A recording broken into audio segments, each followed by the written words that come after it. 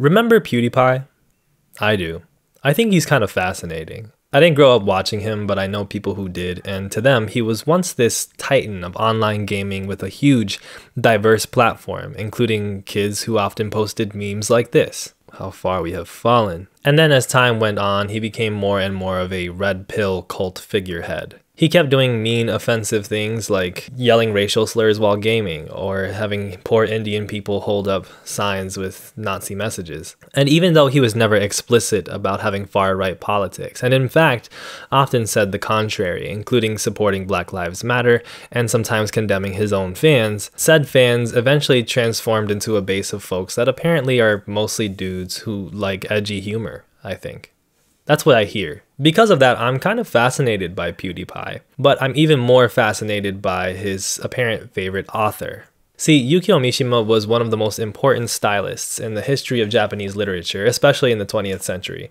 And he also was a super weird guy. So weird, in fact, that I'm going to tell you about him for the next hour, and you're gonna be like, wow, wow, this guy's really weird over and over again. But he wasn't weird just in the sense of not fitting in. And he also wasn't weird just in the sense of being ultra right, the way that liberals call ultra right people now and they seem to get offended by. No, Mishima was his own special kind of weird. He's weird in a way that can only be produced once, and only in the context of the complex relationship between Japanese culture and the influence of the West, in the landscape of its empire's utter failure and collapse.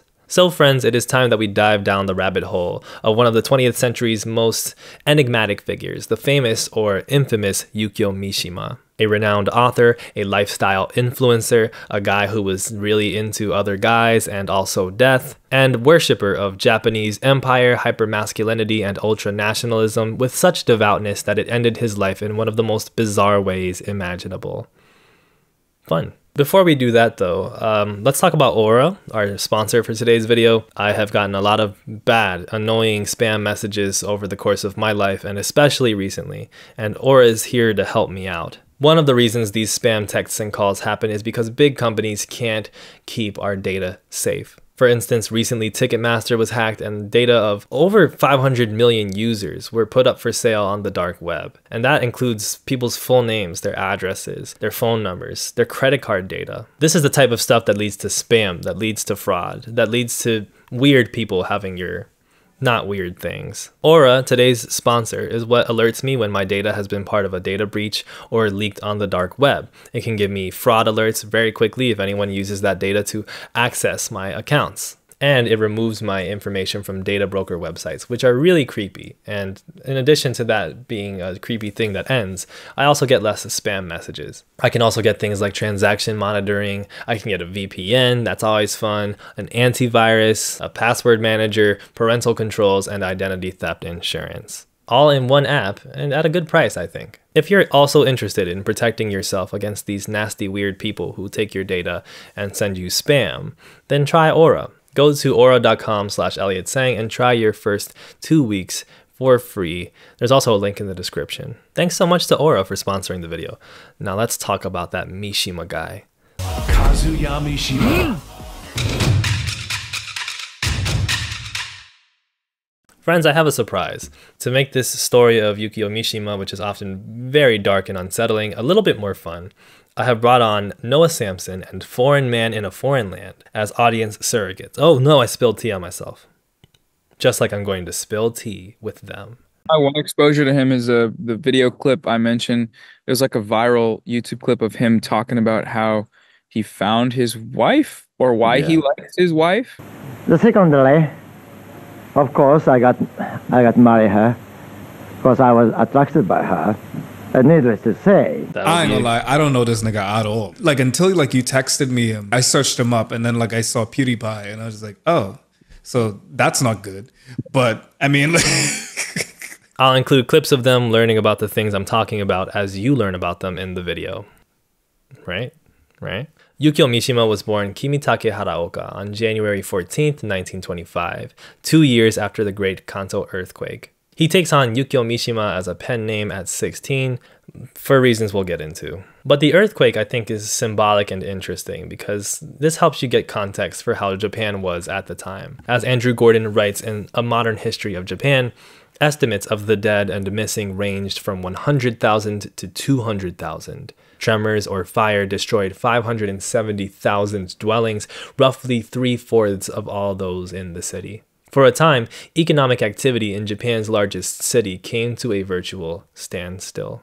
This was not helped by a domestic banking crisis that took place in 1927. The relationship between the new Japan post Meiji Restoration and capitalism is a fascinating one that I wish I could get into in this video, but it's long enough. There was also a global economic depression that occurred shortly after these events in Japan. You might know about it. The 2004 book The Madness and Perversion of Yukio Mishima by New School professor Jerry Piven has its strengths and weaknesses, let's say. For instance, it's pretty dated in the language and ideas about gender and ableism and saneism, but it is useful in some respects, particularly when talking about the trauma that Yukio Mishima dealt with in his youth. What trauma? I'll tell you what trauma. It started with his turbulent relationship with his grandmother. Citing John Nathan's biography of Mishima, Piven writes of grandmother Natsu jealously, fiercely, hysterically guarding him against his parents and the outside world, and demonstrating insane possessiveness of young Mishima, demanding and receiving absolute control of her grandson's life. She was pathologically jealous, and if ever the boy resisted her, she interpreted this as preference for his mother and retaliated against Shizue, that's his mother's name, vengefully. Natsu would fly into a rage if ever Mishima relied on his mother for anything, as young children do. His mother needed permission to take him outside, and this was granted only when the weather was acceptable, only on sunny and windless days.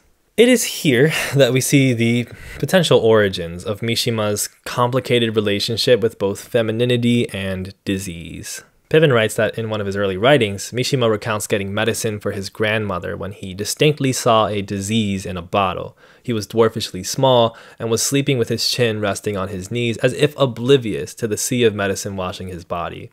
Piven writes, one wonders if the disease in the bottle is his own reflection and self conception. Such exposure to disease left an indelible impression on Mishima.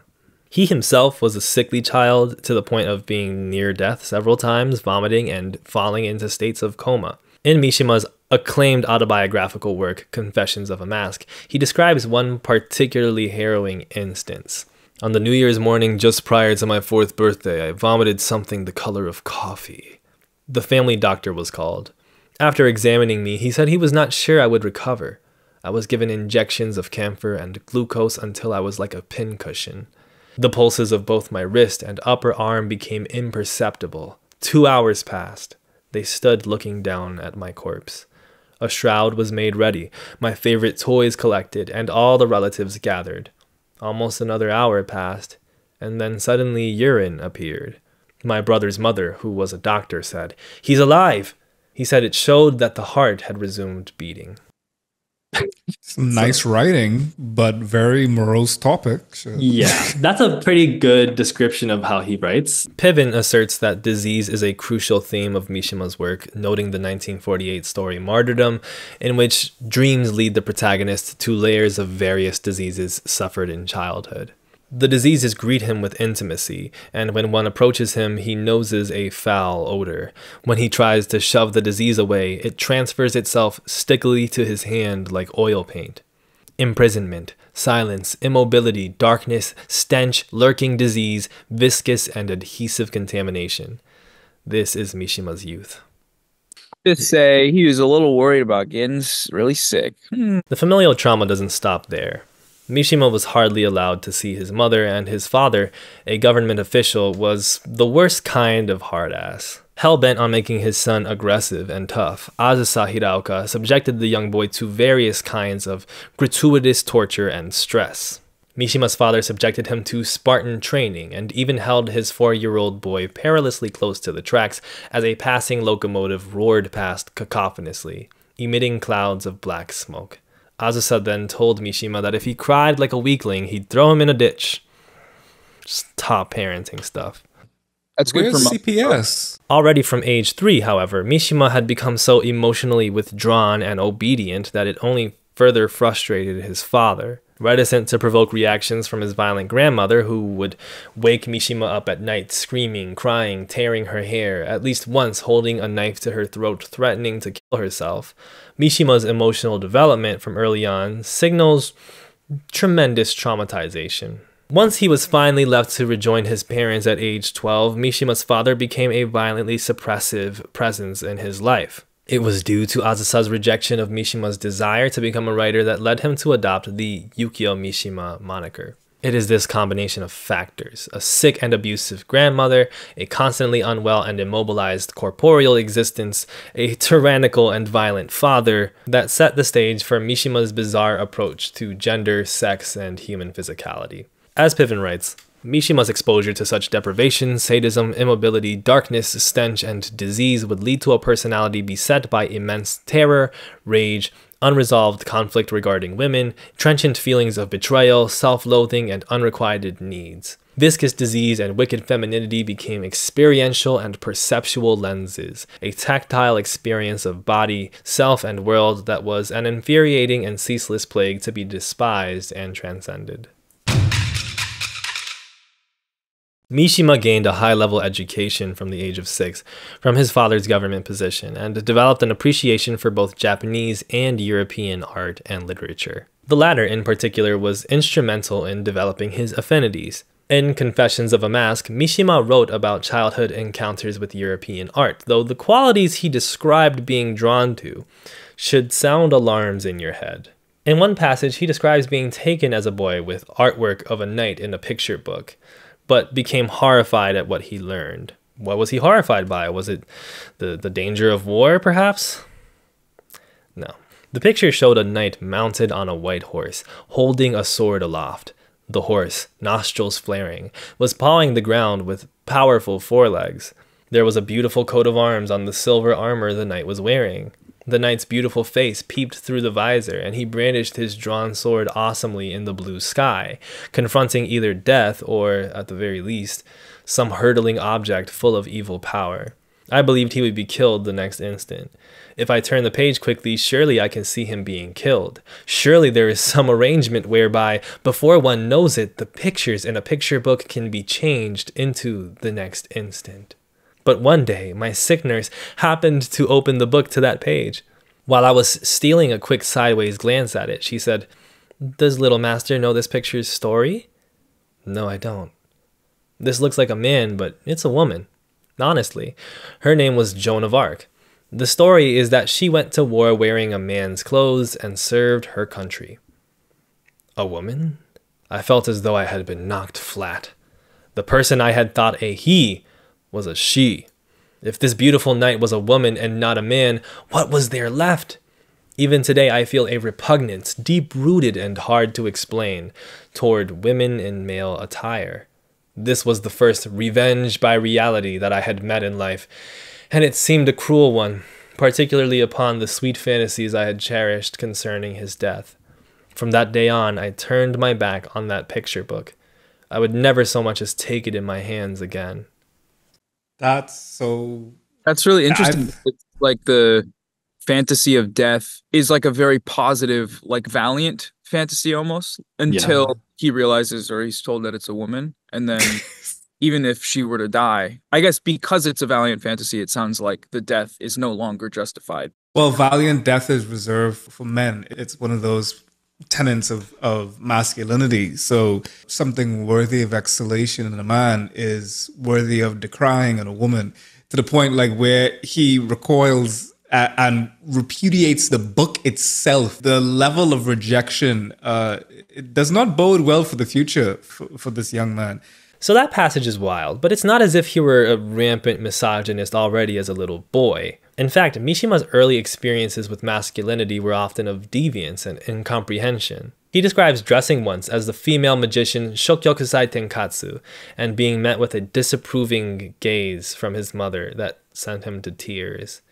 Uh, magician of the time. He later describes dressing once as Queen Cleopatra from Egypt. But in his consumption of stories and art, he found himself consistently loathing female characters and adoring male characters, particularly ones who would meet grisly deaths. Although as a child I read every fairy story I could lay my hands on, I never liked the princesses.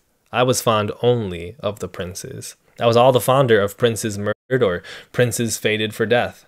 I was completely in love with any youth who was but I did not yet understand why, from among Andersen's many fairy tales, only his rose elf threw deep shadows over my heart, only that beautiful youth who, while kissing the rose given him as a token by his sweetheart, was stabbed to death and decapitated by a villain with a big knife.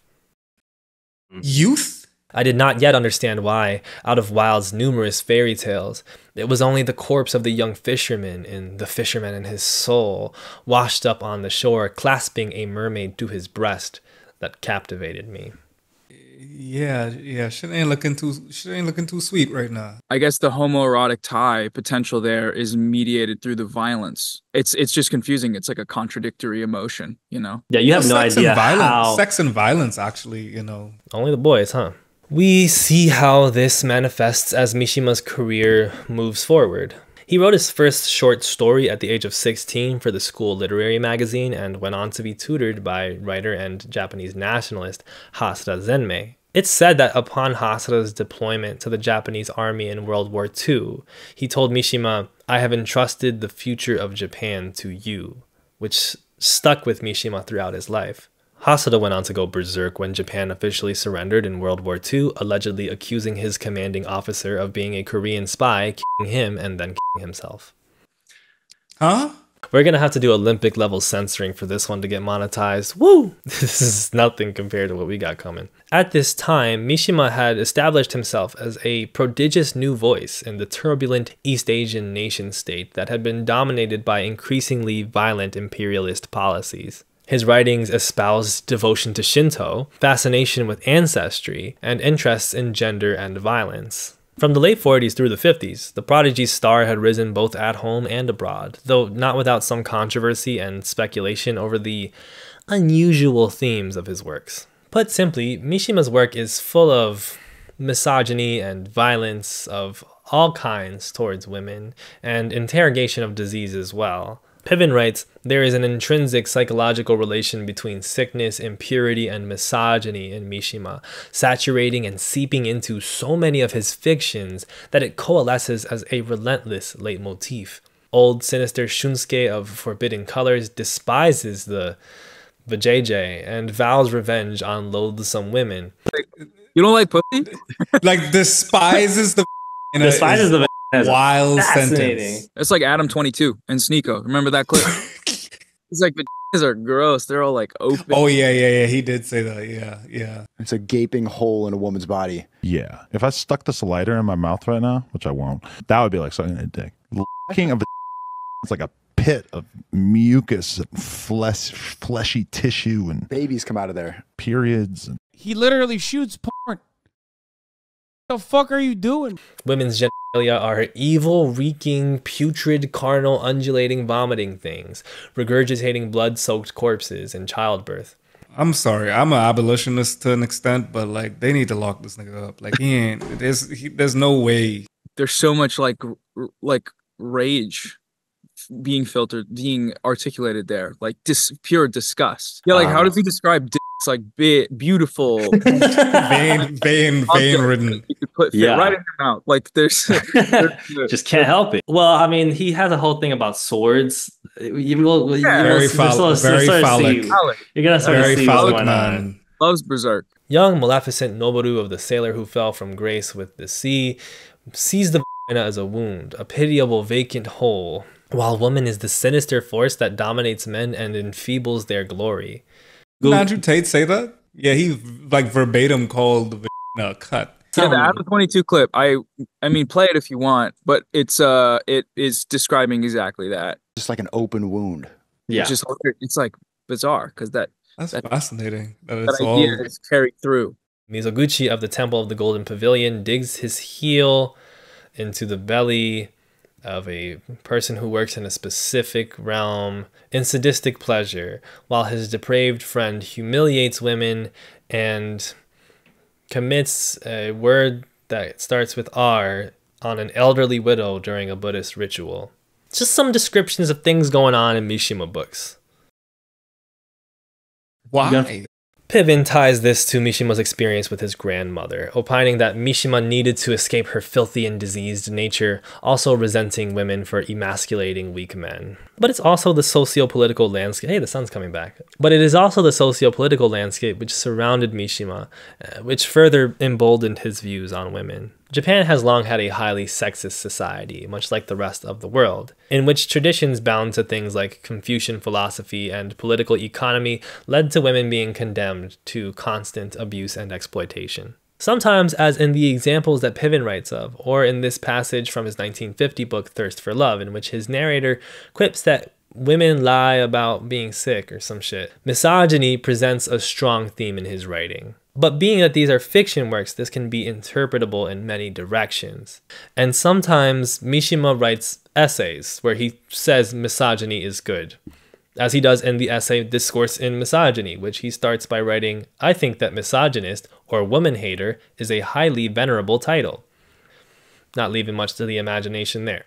At least he's honest, you know? Bro, he came out the gates with One it. Like.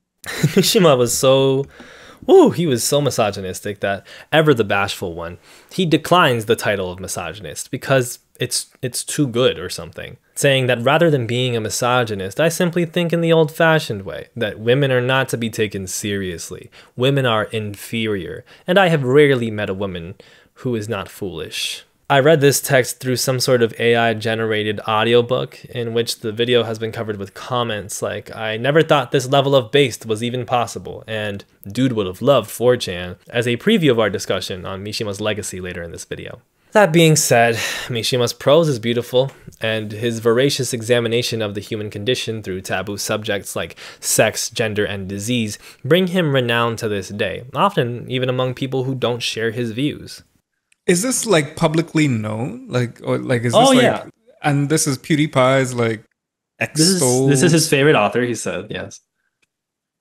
I mean, any discourse I've seen about this guy or usually writers in general is mediated through their work and not really their politics. Like I'm I'm sure in the cultural context of an American enjoying the work, articles like this aren't the first thing you find on Google, you know? Yeah, to be fair, like I mean, like oh. his writing sounds beautiful. I mean, like the way that like he stylizes it, it's just what he the the subject matter of what he's saying is rather morose, but like I don't know. th th this reminds me of the whole thing on Twitter where people watch a movie and don't like it because they think the uh, director is saying this evil guy is good. I like him. This is I'm a pro evil guy and evil movie. When it's just you're misinterpret, you're kind of like you're getting um emotional about something that um yeah, I think, uh, I think they Both. passed me a number.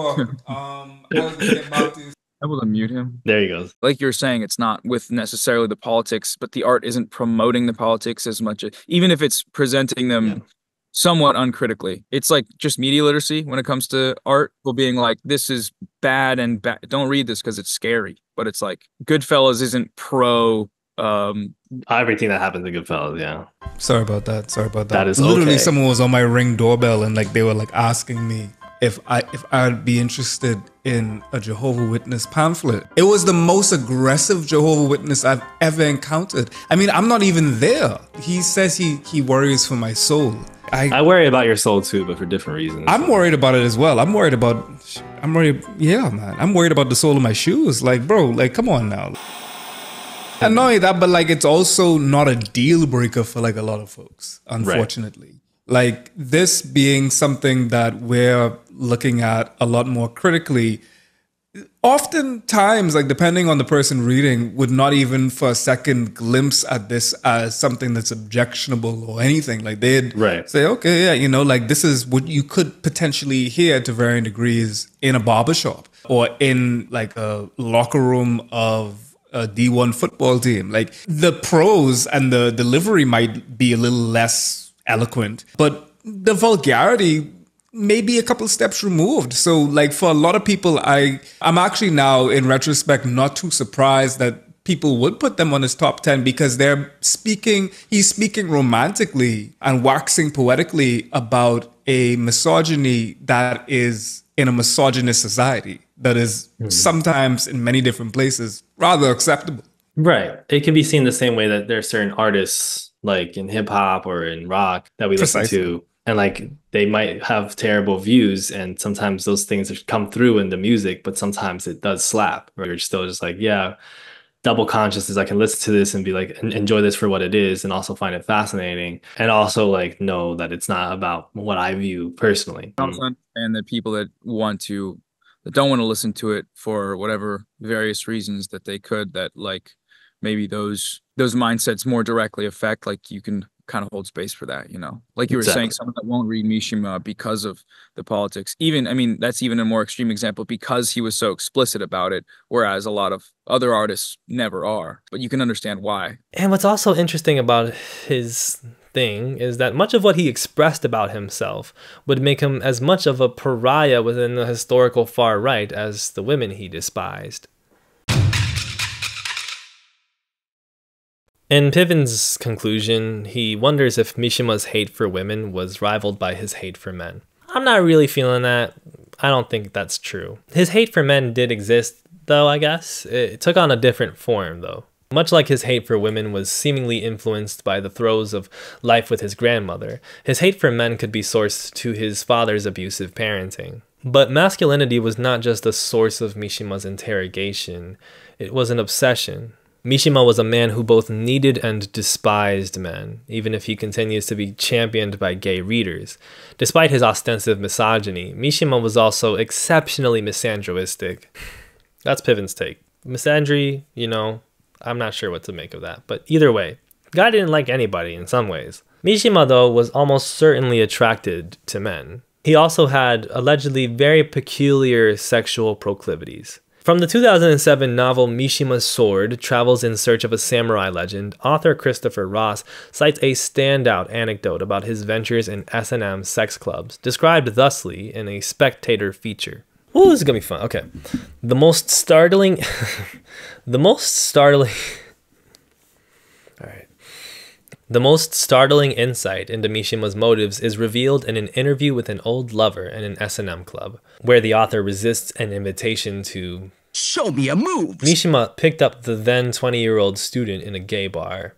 Sex took the form of role play. Mishima enjoyed acting out a seppuku complete with the appropriate props, a death poem, a sword for his lover to clutch, and, from his briefcase, a length of red cloth, the blood and guts. The young man watched amazed as Mishima got hard at once. the young man watched amazed as Mishima got hard at once, and as he died, he without touching himself at all. I had never seen anyone do that before. That is amazing. That's beautiful. He was like, yeah, he knew what he liked. And he knew what he liked. That tracks with the whole uh male violence and valiant, you know. God damn, that's perfect. I genuinely don't know if I'll ever recover from this. like, I mean, like, I don't even think I have the spoons to even deal with that. Weeb's got to get on this. I bet Weebs could really get some kink stuff going if they if they learned about this. It really speaks well to his own, you know, how deeply ingrained his own desires were in this Whoa. that were reflected in his work. You know, Mishima appeared entirely uninterested in his lover. I think I was just a witness to something he wanted to do in front of an audience. After three dates of role play and no show me a moves, he dropped the author.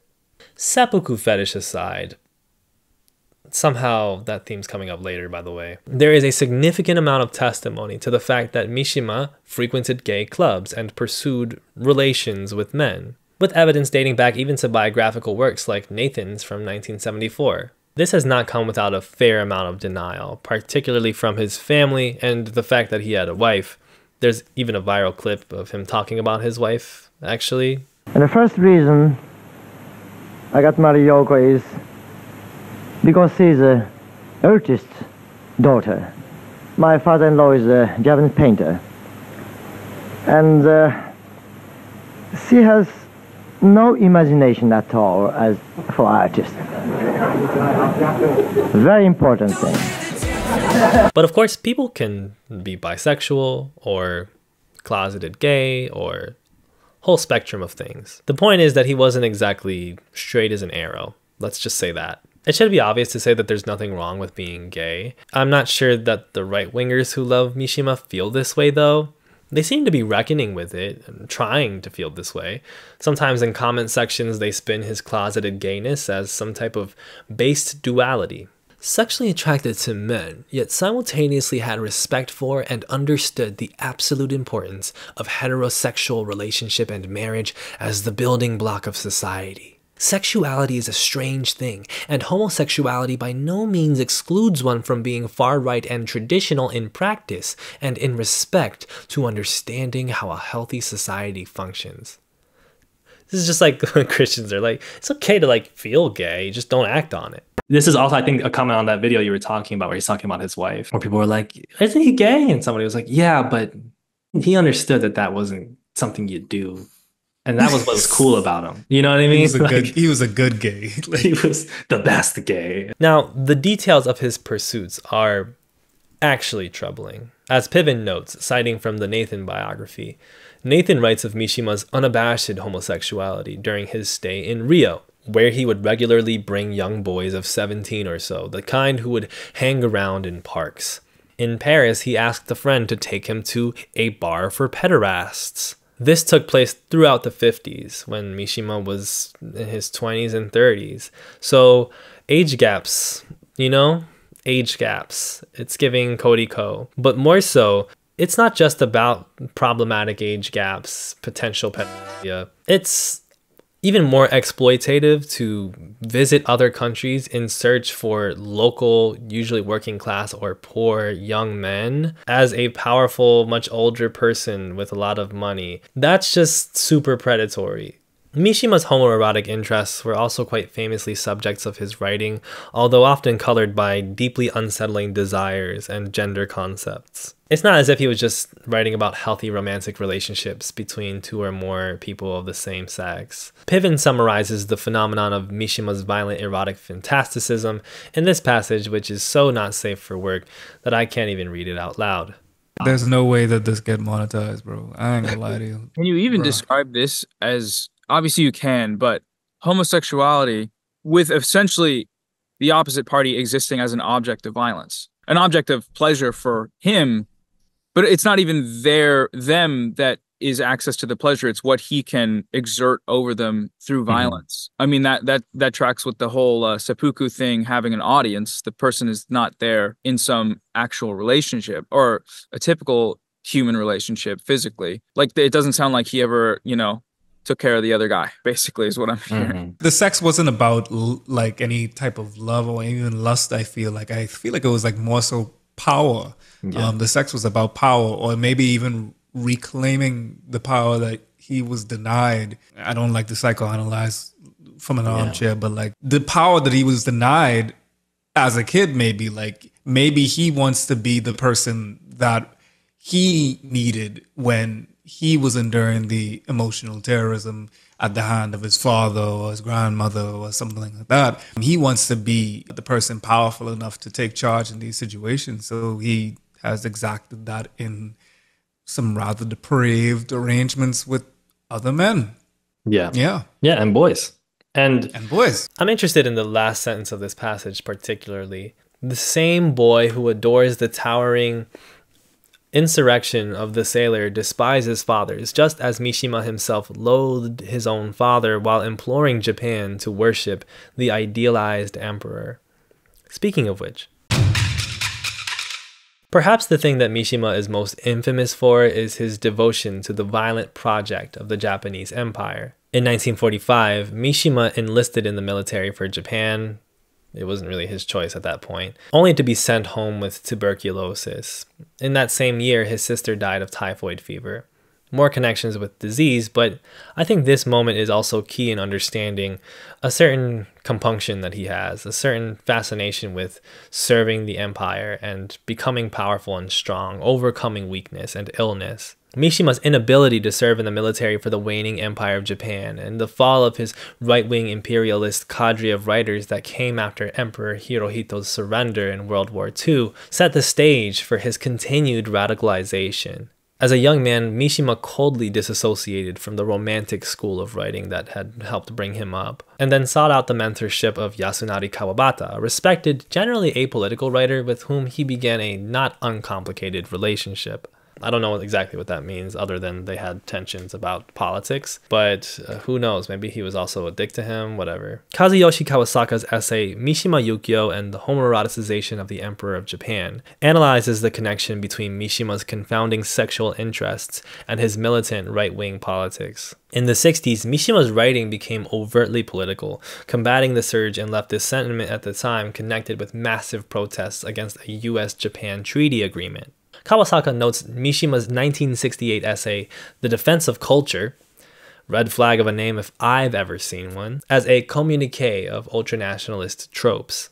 In one instance, Mishima writes, Japan is a rare country in the world, which is an ethnically homogeneous and unilingual one, and our nation, which shares the language, culture, and tradition, has kept political unity since the dawn of time. Thus, our cultural continuity is entirely dependent on the inseparability of the people from the state. But this is just plainly bullshit, as is his claim that leftists need to claim the problems of human alienation and alienation of ethnic minorities based on a fiction. Kawasaka notes that the Empire of Japan was a highly multi ethnic state, as is what happens when you colonize the people of Okinawa, or the Ainu people, or Koreans, or Taiwanese, or Filipinos. We're all one. We're all one big happy family, guys. Come on. Yeah. And this assertion that Japanese people have been unified politically or culturally since the dawn of time, especially including those people you just colonized who are now still considered a different ethnicity. But come on, like what kind of ahistorical shit is that? Mishima, and maybe the most fashy thing he could possibly do, fancied himself as a kind of libertarian, according to Kawasaka. Um, which is just like that was too much for foreign. He just had to log off at that point. He's like, no, no. discourse for me. He said, not the libertarians. Then, oh, actually, I forgot to also change my background. I didn't want it to be this blur thing. Okay.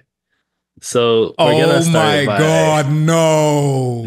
You disconnected Yeah. exactly when I said he identified as a libertarian. So Yeah, the gods weren't happy about that, so they sent they sent the flood. viewing the state as necessary for imposition of order and culture as the center of diversity and disorder. The emperor, in his view, should be the cultural center that unites all Japanese people. Wait, I thought he said that it was supposed to be the political. Who knows? Of course, asserting that all these different groups of people you've colonized should be united culturally within a monoethnic state, and moreover declaring communists as an enemy, and saying that them thinking that these minorities are suffering is actually plainly dumb. They don't know what they're talking about. Just like talking points that we're used to, right? Nonsense. And these suggestions, by the way, that with all this, that he's the one who cares about freedom and diversity are tenuous at best. Much of Mishima's work in the 60s delved into celebrating and stylizing ideas of devotion to the emperor, quashing revolution, and extending humanity and glory to far right figures. His 1961 short story Patriotism, which he turned into a film in 1966, is a glorification of the coup d'etat attempted by a section of the imperial military in 1936, also known as the February 26th incident, with the aim of returning Japan to its far more conservative roots predating the Industrial Revolution, including a totalitarian emperor. Of course, both this Kodoha faction, as they called themselves, and the victorious opposition faction that they went against were both very far right and violent. The difference is that the Kodoha opposed any of the Western styles of bureaucracy and capitalism in terms of the exploitation. They wanted to go back to that good old samurai system, and the others were like, eh, bureaucracy is cool or something. It's a mess, girl. It's a mess. Anyway, that's the type of conservatism Mishima was into. Romantic conservatism, matching his romantic literary ideations once upon a time. In the film version of Patriotism, a lieutenant who has been given strict orders to commit seppuku sits broodingly under a banner that reads wholehearted sincerity in kanji, is consoled and then uh, loved up by his adoring wife. And then commences a five minute scene wherein the lieutenant takes the blade and does his thing and dies. It's very graphic. I want you to guess who stars as the lieutenant in Yukio Mishima's film Patriotism. Who stars as the noble soldier who dies graphically for five minutes? Just guess. The idea of soldiers committing seppuku upon failing to restore Japan to its traditions, traditions that were disastrous for women, might I add, was always riveting to Mishima, riveting in particular ways. I hope this explains the bizarre story from earlier with the club and stuff. Mishima's earlier writings expressed a journey of disentanglement, bearing out the most gruesome fantasies and traumatic memories he could bear to share. But by the 60s, many years after his romantic stylings and increasing conservatism were out of fashion, let's say, and Japan had moved on to deeper questions about modernization, about fancy things like unions and racial equalities, Mishima had found the perfect outlet for his proclivities and interests. The longing for Japanese tradition, for empire, for noble sacrifice, for Bushido, the noble code of the samurai.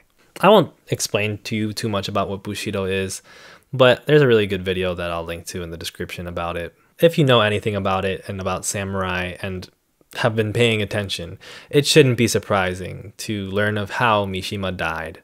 In 1968, he formed a militia called the Tatenokai, or Shield Society, through a small magazine. The militia was not the most formidable. British journalist Henry Scott Stokes, who later became a Holocaust denier, that's random, but I'll throw that in there, had an audience with them and the Japanese military folks who oversaw and helped to train them, writing that in general they were extremely amateur, plainly lacking the experience that an English soldier would get in his first four weeks of basic training in the barracks. Their field exercises were lamentable, so much so that the good natured GSDF men laughed at them openly. Everybody laughed. Mishima himself would very much tone down the seriousness of the occasion by his quips and light comments. Mishima, rich from his career in literature, funded the whole thing himself. Because why not? He even fashioned cute outfits for his boys. His own little club of fashy young men, devoted to two men, Mishima and the Emperor. So his death I'll be a little short about for specific reasons, monetization, but also thematic ones. There's plenty of stuff from even just looking at Wikipedia that will fill you in on some of the details. And John Nathan's biography has also quite a bit of description about what he went through in that last year. But on November 25th, 1970, Mishima and four cadets from the Tatenokai staged a coup against the emperor, holding a commandant hostage. Scholarship of the event, including Nathan's, suggests he had no real pretenses that such a coup was actually going to succeed. Bro didn't think he was like that at that point. He knew his forces were weak, not at all prepared to handle war, and what's more is that Japan was not going to support this nonsense. Nobody wanted the emperor to have absolute power over this fucking country anymore, especially because they were doing pretty good after capitalism had surged and they got a nice deal from the US. The coup was a stage. In a letter sent beforehand to reporters, Mishima pleaded to understand that this is a minor incident, merely a private play of our own. Mishima gave a rousing speech from a balcony, which the soldiers of the base likely did not hear much of, cried out, Long live the Emperor, and then did ritual seppuku. It was a mess. Let's just say his commanding officers struggled to get the job done. One of them, at the time his young right hand, chose to do the same shortly afterward, and there's some reports from one of the survivors that Mishima really did not want him to do that. So, really sad all around. But thus ended the transformation of Mishima, and to some degree the birth of a legend. As Kawasaka writes, in his early works, same sex desire is expressed as being disturbing for the men who hold it. It is a shameful desire, or a desire isolating men from society. In his later works, however, homoerotic desire is not shameful, but rather an essential desire to participate in national politics.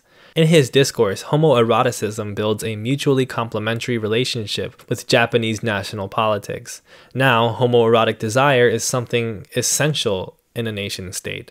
Five decades after his death, Mishima's legacy now stands as one that radically reconceptualized masculinity, that yassified the Japanese far right, and celebrated the iconography of buff men who train hard and lament a broken society in modern times with each other's adulating company. And now his is a legacy that complicates and radicalizes the Japanophilia of men online around the world today. Well, like a few of them. I don't think most people really know much about Mishima actually. But you know who does? Six years ago, the prominent YouTuber PewDiePie put out a video declaring Yukio Mishima his favorite author. when I discovered Yukio Mishima, I did it by pure coincidence. I didn't know anything about him, and I just fell in love with his writing, and I fell in love with finding out about his ideas but also his life. Just this, the joy of discovering him was so great that I wanted to honor that and, and keep that going with what I read from him. As part of a book club series, PewDiePie gives his thoughts on Spring Snow and Runaway Horses, two of Mishima's books from his famous Sea of Fertility tetralogy, which he published toward the end of his life. Both books take place in a period ranging from the Meiji Restoration early on into Japan's imperial period in the early 20th century. Now, if you don't know what Meiji period is, just Google it. It's hilarious because it's the least Japanese thing you've ever seen. It's just uh, people talk about cultural appropriation. Just Google Meiji period. They center on young men devoting their lives to doomed causes, fighting for or with ideas of traditionalism, pre-westernized Japan, the nobility of Bushido, and the samurai code.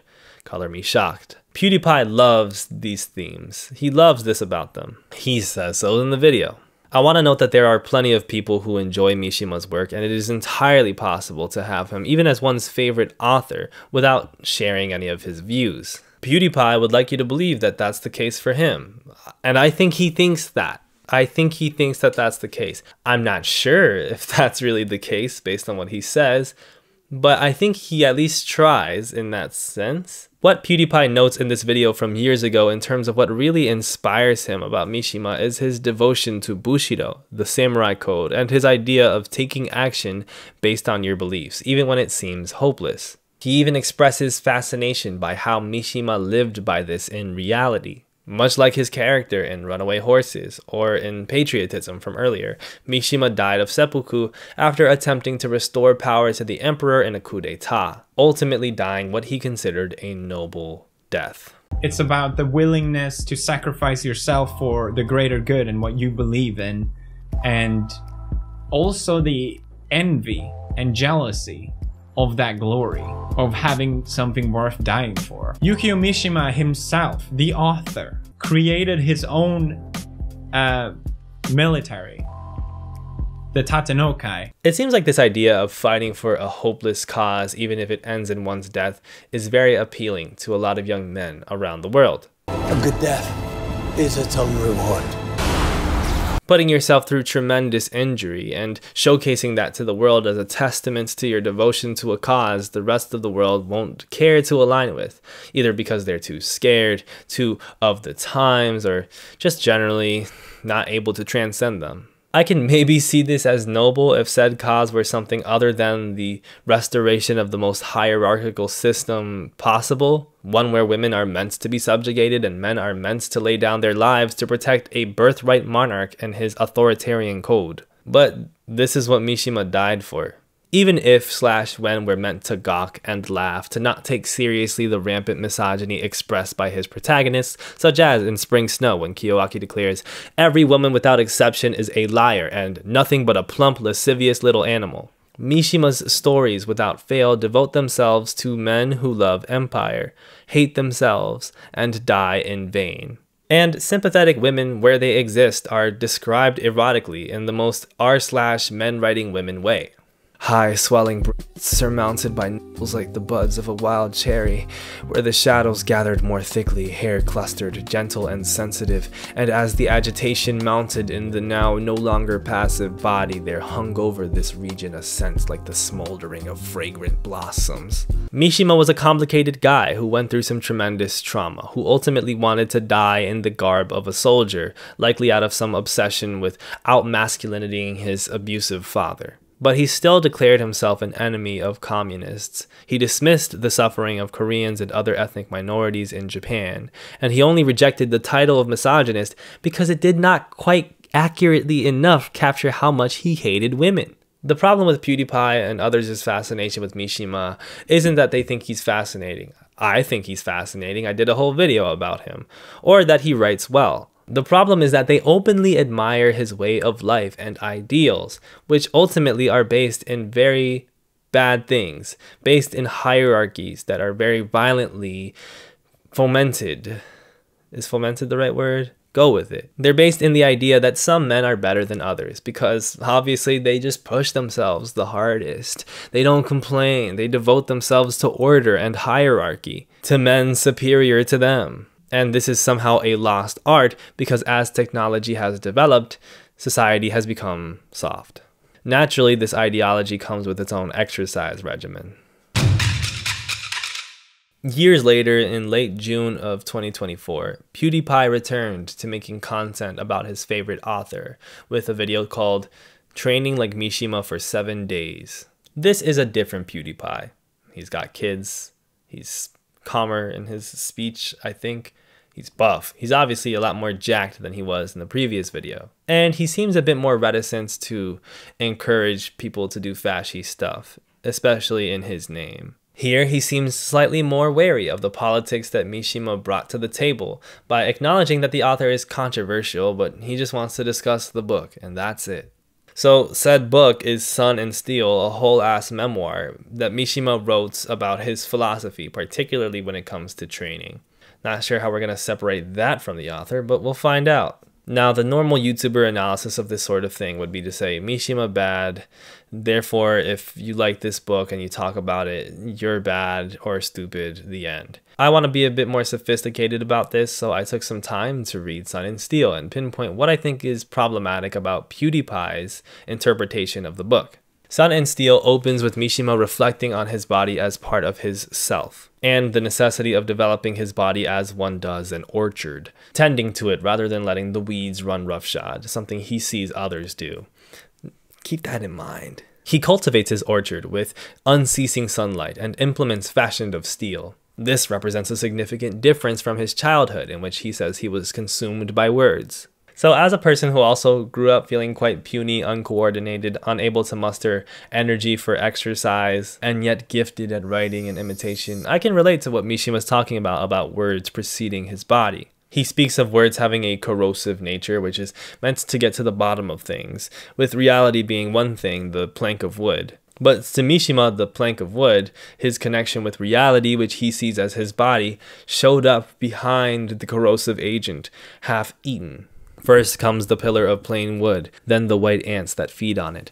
But for me, the white ants were there from the start, and the pillar of plain wood emerged tardily, already half eaten away.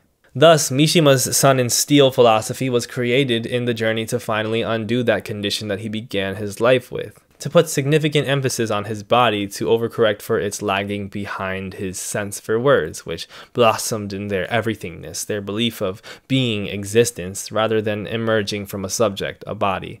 This is all jargony and complex, but uh, this is just my attempts to also relay Mishima's thinking in the way that he writes about it rather than summarizing it in the ways that some might and saying that he's just saying to touch grass and exercise. Mishima kind of philosophizes that in order to ground himself, so to speak, he must create great space in his life for rigor, for hard-edged discipline, summed up as taciturnity and beauty of form. Sun and Steel is, yes, sort of a treatise on how to touch grass, which is what PewDiePie seems to like about it. Mishima thought there was too much emphasis on intellectuality in society, and I think there's something interesting about a Nobel Prize worthy novelist coming to this thought.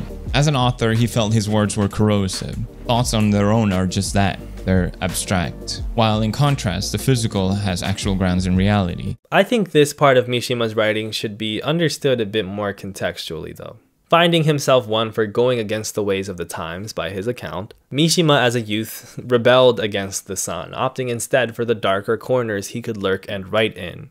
I loved my pit, my dusky room, the area of my desk with its piles of books. Now this is during wartime though, and as the wartime era ends, Mishima sees a change in the people around him. As he came of age post-war, he felt the dynamic had shifted. I gradually sensed that an era was approaching in which to treat the sun as an enemy would be tantamount to following the herd. This came after, you know, he, he grows up as a writer and finds other intellectual types like himself and noticed that they too seem a bit pale and out of shape. And this freaked him out. The men who indulged in nocturnal thought, it seemed to me, had without exception dry, lusterless skins and sagging stomachs. They sought to wrap up a whole epoch in a capacious night of ideas, and rejected in all its forms the sun that I had seen. The essence of Sun and Steel is of a man growing up and comparing himself to other men, as men tend to do, of a man compelled with words and thoughts from a young age who gradually begins to see the value in being outside and having a strong body that impresses other human beings. The prose is flowery and wanders down fascinating theoretical and epistemological roads, but ultimately, its effects are that of a masculinity influencer telling his young online audience that sitting around and thinking a lot is not cool. That the physique is not just something that shallow people worry about, and that people should actually work out instead. Why must it be that men always seek out the depths, the abyss?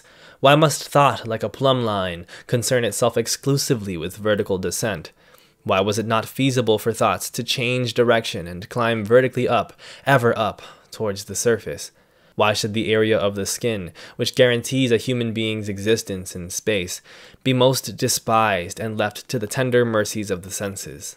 Mishima's journey saw himself wanting to build a body with tan, lustrous skin and powerful, sensitively ripping muscles, and that this would actually help his intellectual pursuits as well, as it would help him understand the physicality and surface of the world better. As I say all of this, I know that you're probably thinking, well, that doesn't sound that bad. And yeah, generally it's good to take care of your physical health. Getting stronger can be quite helpful, and it is scientifically supported that exercise and proper exposure to sunlight will help one's mental health, including stuff with overthinking and anxiety, which is stuff that PewDiePie says he struggles with in his video. I'm glad that Mishima got super buff and juicy, and that a bunch of super online dudes have been inspired by him to not just sit in a chair all day and to work out instead, even if they make silly comments like this on esoterica videos. I rejoiced when I found Sun and Steel. The gym is my temple, the cathedral of iron. The sweat, holy water, the various exercises, the stations of the cross. I make my living in intellectual pursuits, but I find the divine in the gym in the glorious sun. Yukio Mishima, my sensei. Well, actually, hold on a minute. It seems innocent at first for people to use these wordy descriptions like Mishima, hinting at existential profundity, to justify why they like to do chin ups in the park or something. But there's something troubling behind the surface about the purpose of such a thing. For one, Mishima's not just some down to earth guy, some regular everyday writer looking for the benefits of exercise. This is Yukio Mishima we're talking about. Of course, the change of physique is correlated to his desire to have a sweet, sweet body he could K word. I cherished a romantic impulse towards death. Yet at the same time, I required a strictly classical body as its vehicle. A peculiar sense of destiny made me believe that the reason why my romantic impulse towards death remained unfulfilled in reality was the immensely simple fact that I lacked the necessary physical qualifications. A powerful, tragic frame and sculpturesque muscles were indispensable in a romantically noble death. Any confrontation between weak, flabby flesh and death seemed to me absurdly inappropriate. I lacked, in short, the muscles suitable for a dramatic death and it deeply offended my romantic pride that it should be this unsuitability that had permitted me to survive the war. These references to weak, flabby flesh are constant. Mishima is not exactly charitable to those who do not meet this beauty standard, like his younger self. The steel faithfully taught me the correspondence between spirit and the body. Thus, feeble emotions, it seemed to me, corresponded to flaccid muscles, sentimentality to a sagging stomach, and over-impressionability to an oversensitive white skin. From the moment I understood the weakness of my flesh, it disgusted me. He kind of reminds me of Goebbels. Was it Goebbels that was too sick to be a soldier? So he ended up being a propagandist or something like that. He kind of reminds me of that. It's very interesting to think of the intersections of disability and feelings of maybe like ineptitude to an extent, potentially. The way right. that he's reconciling with disability as a way that he is trying to reclaim what he feels as though is disenfranchisement and crimes done to him bodily. Him right. wanting to be this puissant person and then ultimately reconciling with the fact that he cannot and therefore he ends up exacting his clawing back of whatever disenfranchisement that he's had by being fashy and, and being Yeah. um, authoritarian. There's a lot going on here. but first, the pale skin thing, you'll notice there's a lot about the skin and the tanning of the skin. That's its own red flag. Mishima in the book takes pride of the way that the sun makes his skin tanner and that that is a reflection also of the beautification of his body. To which I say, if you're finding yourself getting significantly darker from being out in the sun a bunch, please wear more sunscreen. You are likely damaging your skin irreparably, potentially causing yourself skin cancer down the line, and that's not good. I know that people didn't used to wear sunscreen or whatever when they were being badasses in ancient times, but people in ancient times didn't worry about contracting skin cancer in old age because they didn't reach it, because they were dying of things like cholera and stabbing. Now, when it comes to this dismissal of flabbiness as the mark of weak, sentimental people, we begin to enter very dangerous territory. See, I like exercise. I, like Muay Thai. I like it because it's fun and cool. I like the discipline of having to go over techniques over and over again to make sure that you do it the right way. I also like the way that form is subjective, especially depending on your bodily proportions, which you mostly can't control, something Mishima is not exactly ready to acknowledge. For example, I'm tall and skinny. I can probably change the skinny part, though it might take a lot longer than most people would suggest. I can't change the height thing, that's just stuck there, as the Drew Gooden video you've probably seen would suggest. So I'm lucky to have more height than the average person in the United States, but that also comes with its drawbacks because taller people tend to have shorter lives because of their ability to contract disease more. And also they can struggle with athletic tasks sometimes because they can put more pressure on their lower extremities leading to injuries in their knees, their ankles, their feet. Being skinny is also a nuanced thing. We're learning more and more in science about fat and muscle building and all that stuff. I happen to be skinny with not very much fast twitch muscle, as you may be surprised to hear. I don't burst very well, I don't run super fast or jump super high, but that means I'm a bit more predisposed to having slow twitch muscle, more stamina and endurance and mobility advantages. The point of this is not to show off how cool my body is or have a debate, but to talk about a larger point that Mishima and his contemporary analogs troublingly seem to miss, which is that your body is not necessarily something you can control very much. Early on in Sun and Steel, Mishima writes about the body as one's dwelling, which they can either choose to cultivate or not. I could either cultivate that orchard to its capacity or leave it for the weeds to run riot in. I was free to choose, but the freedom was not as obvious as it might seem. Many people indeed go so far as to refer to the orchards of their dwellings as destiny. There is a degree to which we can control our physical health. But a lot, maybe most, of the substantial things that define our bodies and the way people see our bodies are not exactly changeable. Height is a great example. You can get all kinds of surgeries as a dude now, which are um, not exactly the most developed, in order to make yourself a few inches taller. But obviously, that will have other ramifications. And when it comes to things like disability, disease, and phenotype, we generally can only do things to manage, mitigate, and get the best out of what we've got.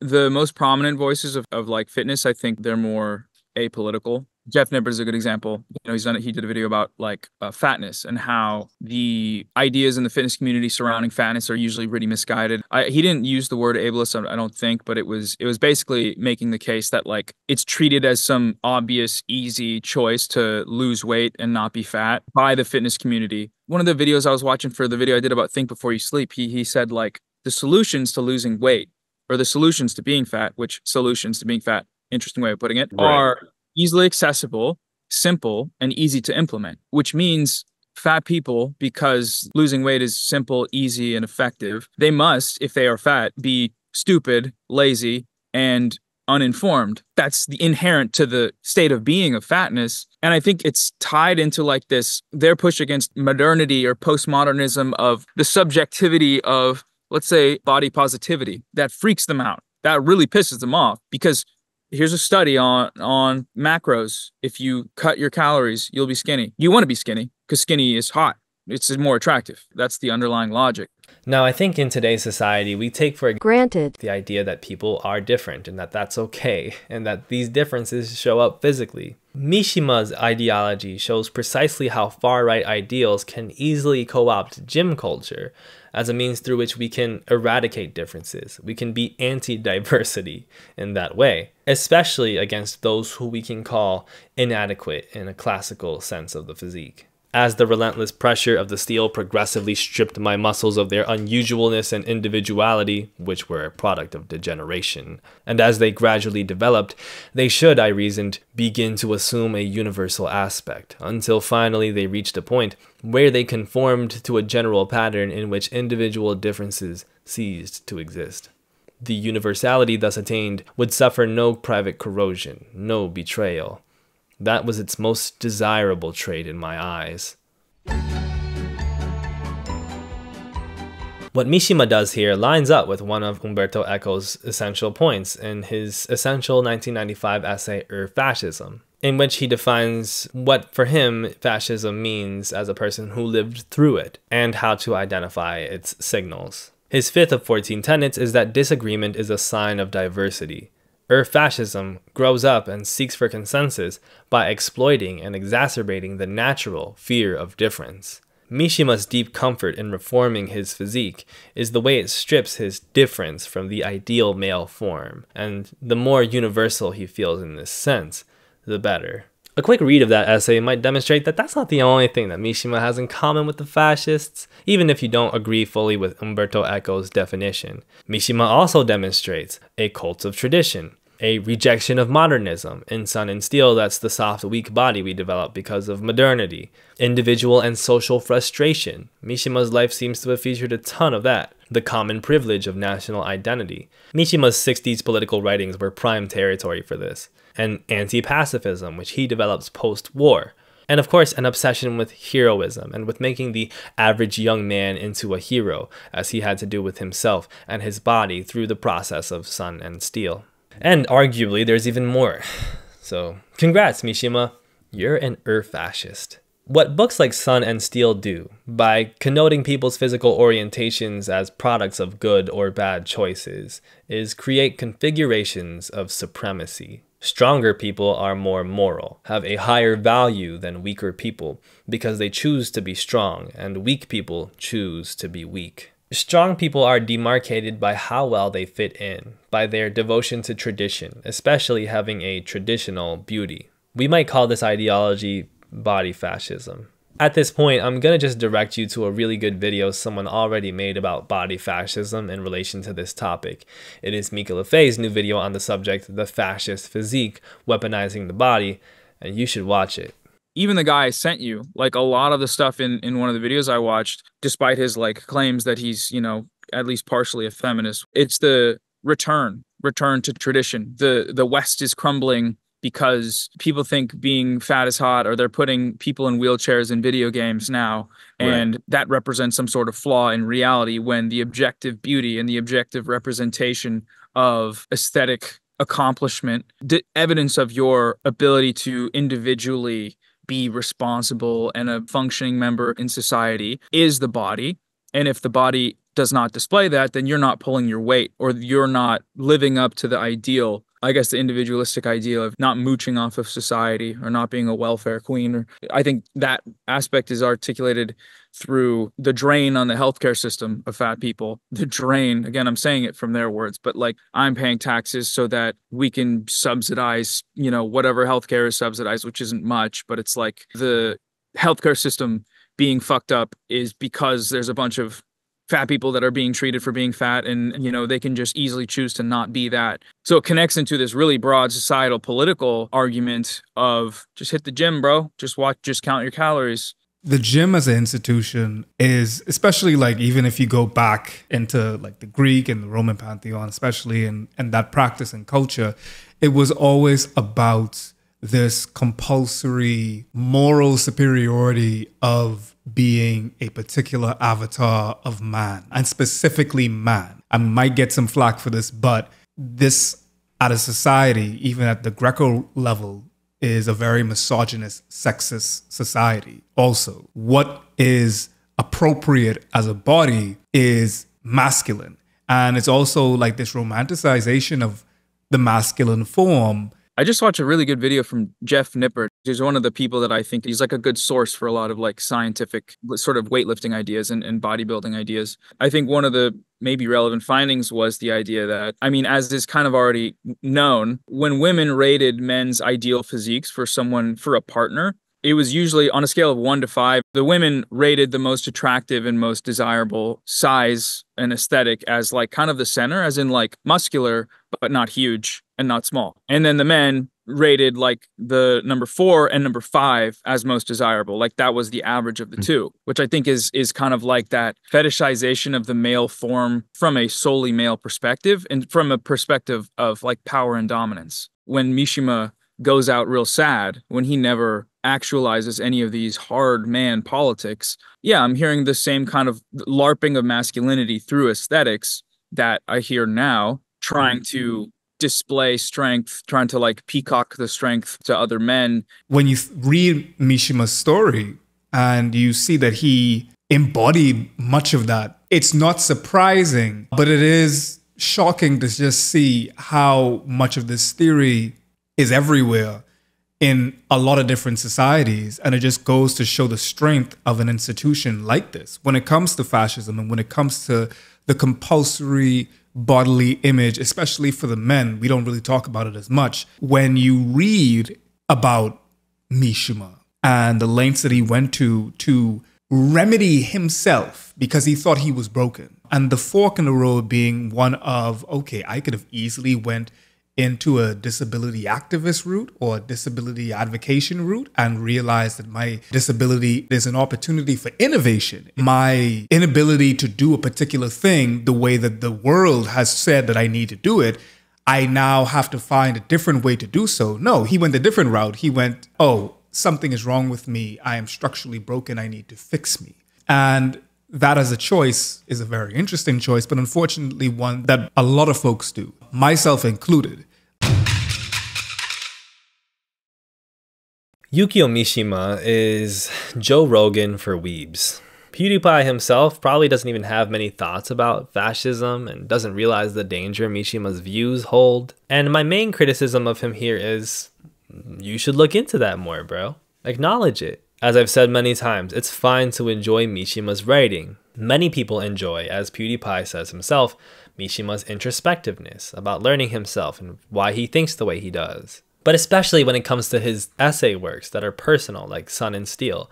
You should look into Mishima's politics and think about whether or not the things you love about his writing and thinking might also be connected to the worst views he had, and whether or not it's possible to fully separate the two. Missing this whole connection is unsurprising for someone who has constantly inadvertently appealed to bad people. After the Christchurch shooter yelled subscribe to PewDiePie before committing mass M-word at a mosque, you would think that the man himself would be a little bit more careful about accidentally associating with far right politics. You would think he'd be trying a bit harder than this. Regardless, whatever you think of the guy and his intentions, we can see that PewDiePie's audience does still sometimes cross over into that far right territory. And somebody like Mishima is not necessarily the kind of guy you want to introduce to them uncritically. Mishima is a prototype of the hard man, right alongside people like G. Gordon Liddy. A guy who grew up feeling pathetic and unmanly and spent his adult life fighting that inner voice by becoming buff and advocating for reactionary politics, including the fascination with Nazis. We didn't even get to talk about my friend Hitler. But deep down, we know that people who are secure in themselves don't need to demean others for how they look, or declare their way of being superior, or attach their proclivities to far right conservative politics. The fact is, the dude was sad, and he went out sad. I mentioned early on that Mishima's boyhood mentor, Hasuda Zenmei, entrusted the future of Japan to him. The thing is, Hasuda Zenmei was just another sad guy who attached his identity to Japanese nationalism, an ideology that barely existed for half a century, as a way its new nation state could get people to care about fighting for it in devastating wars. He went out sad too, and regrettably, he took someone else's life with him. He couldn't have entrusted Japan's future to anyone if he tried. The same way people like Elon Musk and Jordan Peterson constantly talk in terms of saving civilization, The rhetoric is a costume for the inherent insecurity of the reactionary, that the world around them is constantly changing, is turning its back on old traditions, and is constantly better for it, leaving them behind.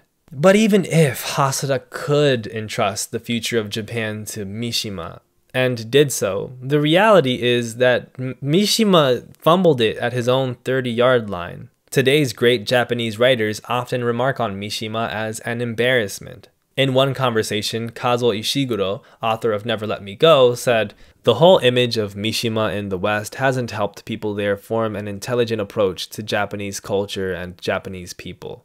It has helped people perhaps to remain locked in certain prejudice and very superficial, stereotypical images of what Japanese people are like.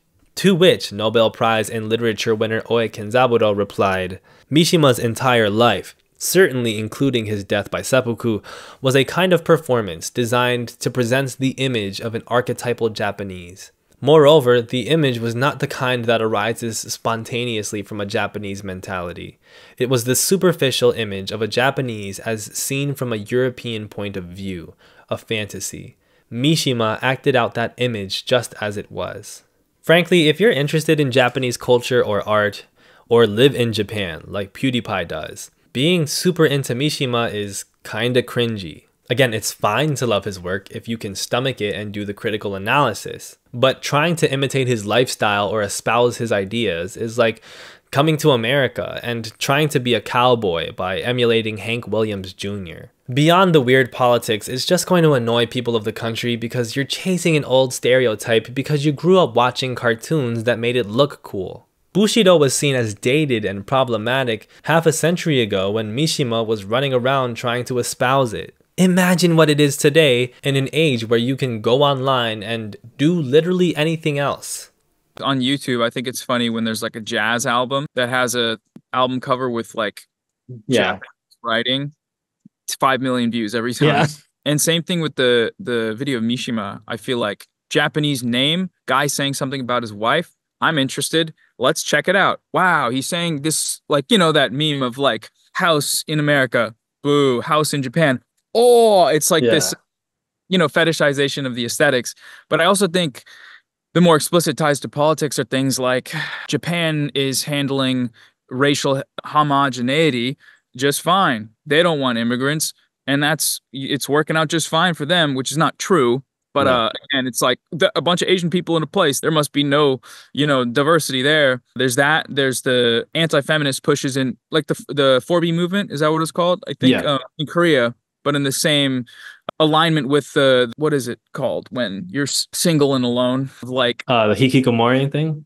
Hikikomori and the shut-in and the moving away from traditional values to the point where the birth rates are declining. There's a lot of political fetishization there that's disconnected from kind yeah. of kind of like some they'll just throw that out there like oh look what japan is look what china is doing about uh about the birth rate problem. This is evidence that the society is crumbling and, and the reaction to that is um I think it's all kind of rooted in that similar ideal. Mishima is a great writer, and I understand that many can enjoy his works without espousing his views. But the reality is that he made those works in order to espouse those views, seeing his work increasingly as a project to save Japanese society from modernization, from progressivism and cultural diversity. And in that sense, his life's project was a failure. He died by S-word, convinced it meant he died with honor for a noble cause, died a badass. But even the way he died was a spectacular failure. Mishima knew the coup wouldn't work when he planned it. All accounts of him at the time show that he was just trying to meet a theatrical end. And even then, the theater of it didn't work anyway. He wanted to give a 30 minute rooftop speech, but he cut it short at 7 minutes because nobody could hear what he was saying. He wanted to write his name in blood after doing the first part of the seppuku with the sword to show how badass he was and how much he followed the tradition.